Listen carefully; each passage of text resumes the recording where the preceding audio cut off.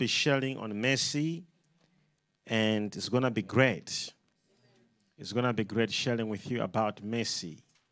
And I did mention to you prior, and I shared with you about mercy. What is mercy? And we looked upon certain few things on dimensions of mercy. And I told you, mercy, it is not what people think. Most people associate mercy with only when God is merciful for you if you are a sinner, and then God has mercy on you and forgives you. And this is so much common to so many people's belief and thinking. They always think mercy is when they have done something wrong and they have been pardoned. Yeah, that is a mercy. But there are levels or dimensions of mercy. Now, that could just be a common way of mercy. And we looked at scripture where the Bible talks about the general mercy, the common mercy. Hello? We read the scripture. The Bible says that God has mercy on everyone. That is general mercy. God has mercy on all people. Right now, everybody is living by the mercy of God. And that's the general mercy. Somebody say general mercy. General mercy. So if you look in the book of uh, Psalms 86, verse 5, we find the mercy which God has for everybody. It says what? For you, Lord, are good and ready to forgive. You see that type of mercy? Now I want you to see this type of mercy. Uh-huh. And it uh, is deals with the forgiveness of sin. God can have this mess with anyone. He can forgive anyone and show this kind of mercy. All right? He says what? You, God, are good and ready to forgive. And abundant in mercy mm-hmm. to all those who call upon you. All right. So this mercy God can demonstrate it to any person. God can show anyone else who says, Lord, forgive me, I have done this wrong. God is good and He can forgive everyone and show this type of mercy to everyone. Are you here, right? But I want you to see something here that is very important. We look now on dimensions which are shared with you. The mercy for forgiveness of sin, which all of us received or we keep on receiving every day, God has mercy on you. God can have mercy. I tell people that God does not hear a prayer of a sinner. He doesn't. The only prayer of a sinner that God can hear is God have mercy on me, forgive me. God will hear that prayer. When He forgives you, then He can hear your prayer. But God does not hear prayers of sinners. Are you understanding what I'm talking about? The only prayer he can hear is what? God have mercy on me and forgive me for my sins. Then when he forgives you, the Bible says he's just. You hear that, right? Yes. After he forgives you, then God can answer your prayer. Now, that is to do with what? Mercy for all. God has mercy for all. Now, if you're following me wherever you are, say, God has mercy for all. God has mercy for all. Say it again God has mercy for all. God has mercy for all. In that type of mercy, it is the abundant type of mercy. As we continue, that I want to show you today, the most important verse as well, Psalm 145, verse 9 on general mercy. This mercy is for everybody. God can show mercy. It says what? The Bible says, The Lord is good to all. Good. And his tender mercies are over all his works. The Lord is good to all. So, this type of mercy, it is not for an individual. This mercy is for everybody. He can have mercy on you, forgive you. This is a general mercy. But we have got now levels where you begin to move from that. And I told you, what is mercy? I said, mercy, it is God's system of advantage that guarantees or ensures that we become full expressions of his expectations regardless of our humanity. So God demonstrates that it is beyond you being a human. It is God's system of advantage. So you were a sinner. You were a sinner. But then, despite your sins, God says, You know what? I'll give you an advantage. I have forgiven you. What is that? Mercy. You are advantaged because of mercy. However, it goes beyond forgiveness of sin, it begins to go in other factors of, of life.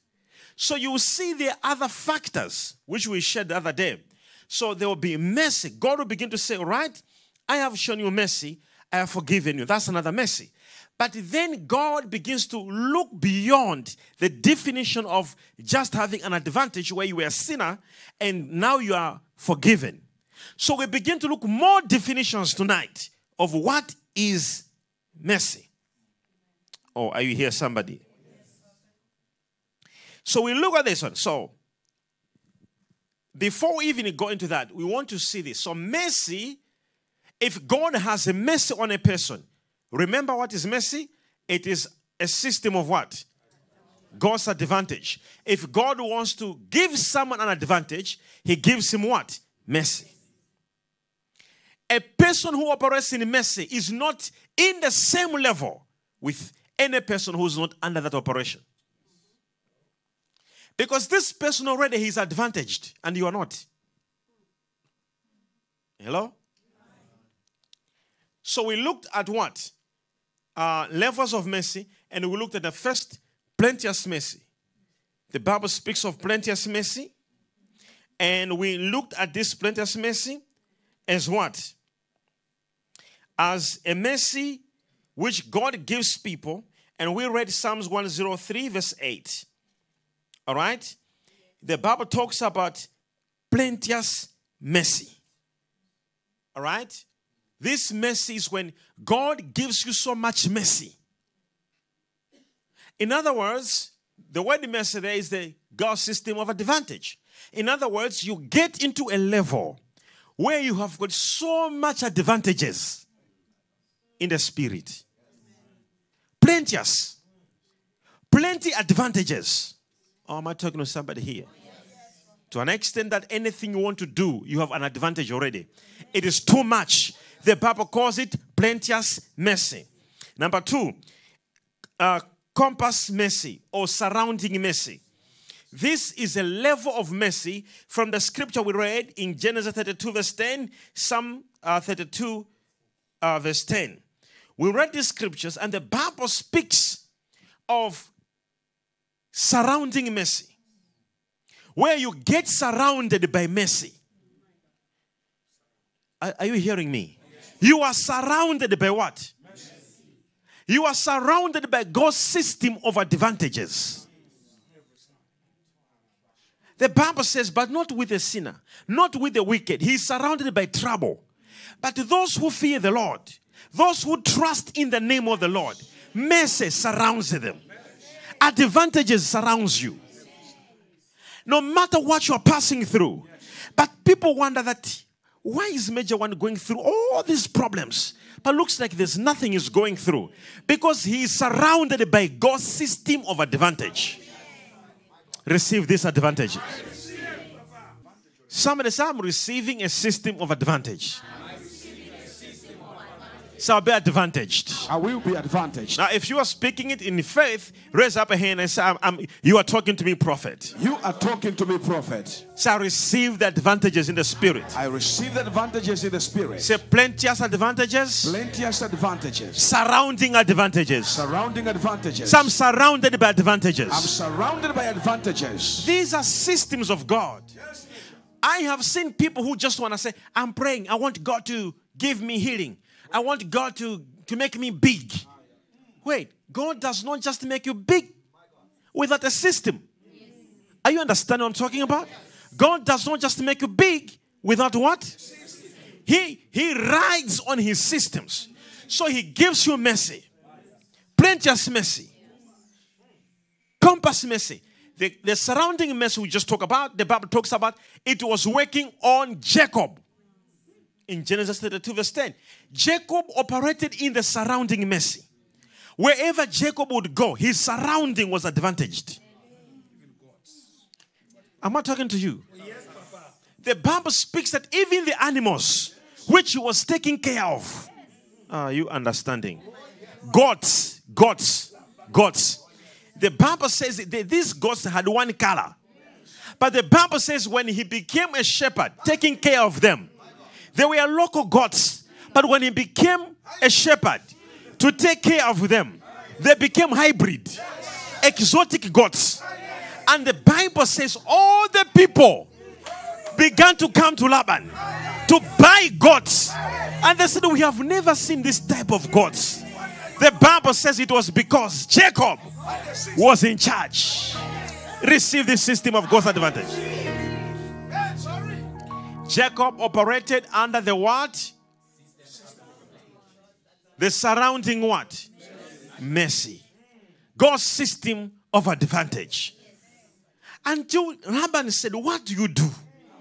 The Bible says when these animals, when they when they are mating, when they are mating, and they are looking at the trees, the Bible says when they are looking at the trees and they are mating, when they are giving birth, the animals which they were coming from those animals was the color of what these animals were looking at when they were mating. You didn't hear me. If the animals were looking at the color yellow, there was a yellow goat coming out. Until today, we don't have those hy- uh, hybrids. Those colors disappeared. They only happened in the days of Jacob. His, the mercy of God surrounded him. Am I talking to somebody here? When you do business, only this happens on you. People say, but how do you do it? How, how do you, why are you so different? Someone say, I received the surrounding mercy. Number three, we looked at the sure mercy which was working on David. In Isaiah 55, verse 3, incline your ear and come unto me here, and your soul shall live, and I will make an everlasting covenant with you, even the sure mercies. The sure mercies. The sure mercies of David. So there are certain mercies are very sure. Certain advantages, you just know that these ones no one can fight me. They will lose because I have sure. Say that. Say nobody can fight me and win. Me and win. Say I have sure mercies. I have sure mercies. Say poverty will never come to me again. Poverty will never come to me again. Say I operate in the sure mercy. I operate in the sure mercy. You are way about. It's a covenant. Number four, great mercy. The Bible says in Second Chronicles 1, verse 8, and Luke 1, verse 58 the Bible says, You have shown your servant great mercy. And then Luke 158, the Bible says, And God showed her great mercy, and the cousins and the neighbors came and rejoiced with her. For the Lord had given her great mercy. Are you understanding? This one it is for international events. When God wants to publish you the whole world, he gives you great mercy. If God wants you to break history, He gives you great mercy. When God wants you to break the continent, to take over on a certain a big project, you need the great mercy. Somebody say, receive the great mercy. And what is mercy? God's God's system of what? Now, when you receive great mercy, it means what? You receive great system of advantage. Because what you're about to do is a great thing. So God will give you the great advantage that even if you match with the people, people wonder why. When God gives you great mercy, you have no competitor. Am I talking to somebody here? You, you, you are just advantaged. And you see, the church is not living in these things. Now that you are learning these things, when you're fasting now, you will know I have to fast for surrounding mercy. I have to fast for for what? great mercy. I have to fast for plenteous, for sure mercy. Now you know. I need a system of God's advantage. I have never operated under it. Right now, you know what I'm talking about. Most of you, you have been all the times disadvantaged. You try this, you are disadvantaged. You try this, it means you are lacking a system of advantage. You don't have even to see, ah, I, I think I'm operating in it. No, we, we first look at what is happening around you. Are you disadvantaged or advantaged? Receive the mercy. Someone say, I receive the mercy of God. Now you know. Hey, if you have a neighbor next to you, say, You need to watch me. How I'll be surrounded by mercy. How the plenteous mercy will affect me. Then we have the vessels of mercy. Now, this is a level where you are no longer surrounded, but you become a vessel. You carry the mercy. Am I talking to somebody here? You carry the advantages. You walk with them. Hiya, yeah. Say vessels of mercy. The Bible says the book of Romans, it says in chapter 9, verse 23, and that he might make known the riches of his glory only the vessels of mercy. So God will not make known the riches of his glory if you're not a vessel of mercy. The Bible says God makes known his riches of glory to those who are vessels of mercy. So people be like, Papa, ah, Lord, I'm praying. I want to see your glory. May I carry your glory? God be like, Are you a vessel of mercy? The Bible says God makes this to those who are vessels. Raise up your two hands and say, I receive.